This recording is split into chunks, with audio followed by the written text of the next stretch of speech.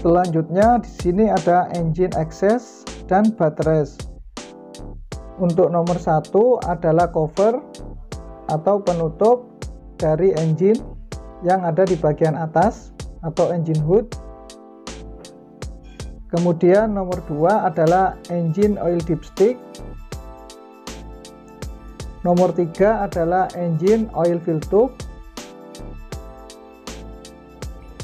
Nomor empat adalah windshield washer reservoir.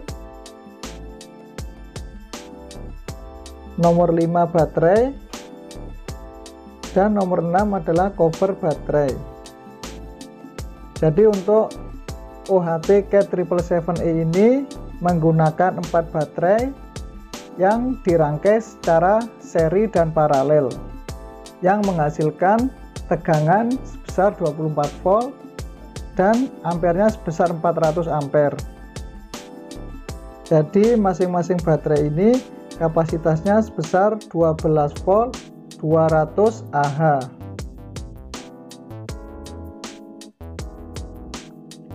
kemudian berikut ini adalah sisi sebelah kanan dari OHT CAT 777E untuk nomor satu adalah hoist cylinder nomor dua adalah fast fuel service. Nomor tiga adalah fuel tank. Jadi fuel tank ini kapasitasnya sebesar 1140 liter. Kemudian nomor 4 adalah fuel level sender. Untuk mengetahui berapa kapasitas fuel atau bahan bakar yang ada di dalam fuel tank nomor 5 adalah fuel tank breather nomor 6 adalah fuel tank fill cap. Selanjutnya nomor 7 adalah transmission charger oil filter. Nomor 8 adalah engine oil filter. Nomor 9 secondary fuel filter dan nomor 10 adalah primary fuel filter. Jadi pada primary fuel filter ini di bagian housingnya terdapat priming pump.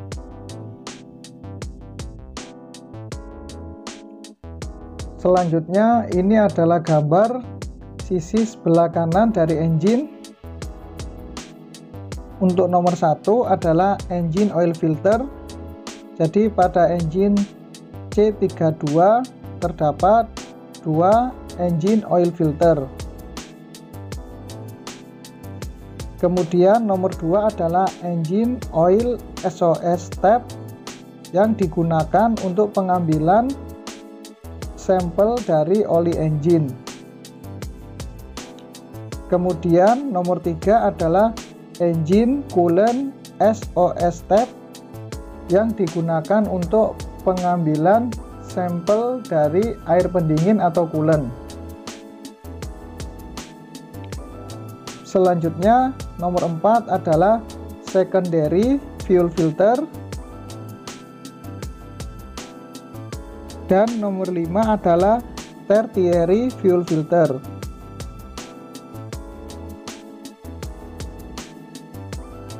selanjutnya ini adalah gambar bagian belakang dari OHT K777E untuk nomor satu adalah backup alarm.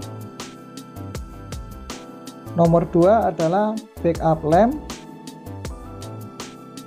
Nomor 3 adalah WAVS kamera atau work area vision system. Jadi untuk yang nomor 3 ini adalah opsional atau tambahan yang dipasang pada OHT CAT 777E nomor 4 adalah preview object detection sensor Kemudian nomor 5 adalah rear stop atau suspensi bagian belakang. Nomor 6 adalah rear brake pressure tab.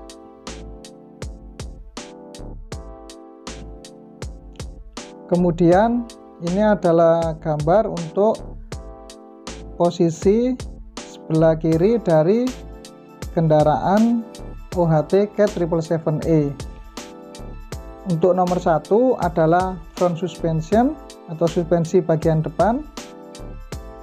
Nomor dua adalah air dryer. Nomor tiga adalah torque converter oil filter nomor 4 adalah parking brake release oil filter.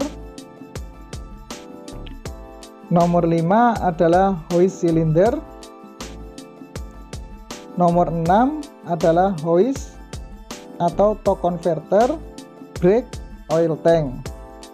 Jadi untuk tangki ini olinya digunakan untuk hoist torque converter dan brake untuk kapasitas olinya sebesar 385 liter. Kemudian nomor 7 adalah transmission oil tank. Kapasitasnya sebesar 122 liter. Kemudian nomor 8 adalah service atau retarder brake air tank.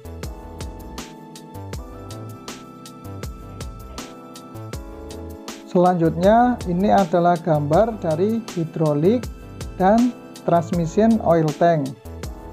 Nomor satu adalah hoist to converter brake oil level sengkik.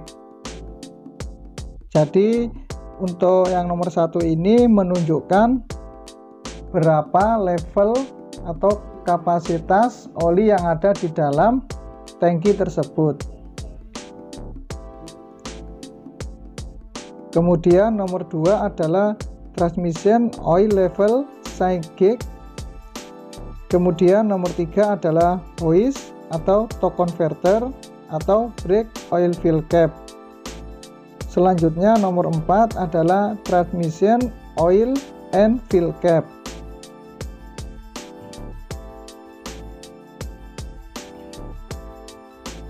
Selanjutnya ini adalah gambar bagian bawah dari kendaraan OHT K777E.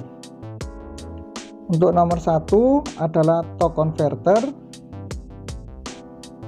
Nomor dua adalah pump drive. Nomor tiga adalah transmission pump. Nomor empat adalah torque converter pump. Nomor lima hoist pump. Nomor 6 rear brake master cylinder. Nomor 7 transmission. Nomor 8 output transfer gear.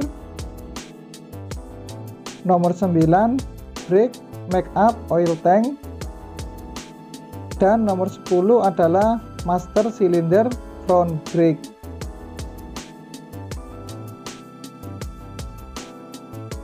Selanjutnya ini adalah gambar yang ada di bagian belakang dari kabin. Jadi untuk melihat komponen ini kita harus membuka sebuah panel atau cover penutupnya. Nomor satu adalah sasis ECM.